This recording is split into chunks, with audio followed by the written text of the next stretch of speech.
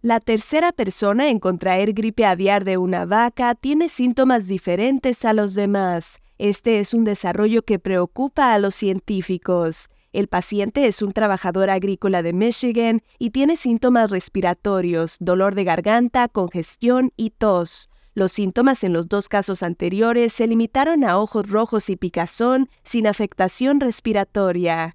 El presidente de Texas Biomed, Larry Schlesinger, dice que esta adaptación aumenta el riesgo de exposición de la gripe aviar para los humanos porque la propagación es mucho más probable por tos o estornudos en comparación con la conjuntivitis ocular y agrega que aquellos que trabajan con ganado deben tomar precauciones adicionales. Hasta ahora, sin embargo, el virus llamado H5N1 no se ha propagado de una persona a otra, por lo que Schlesinger dice que el riesgo general para el público sigue siendo bajo.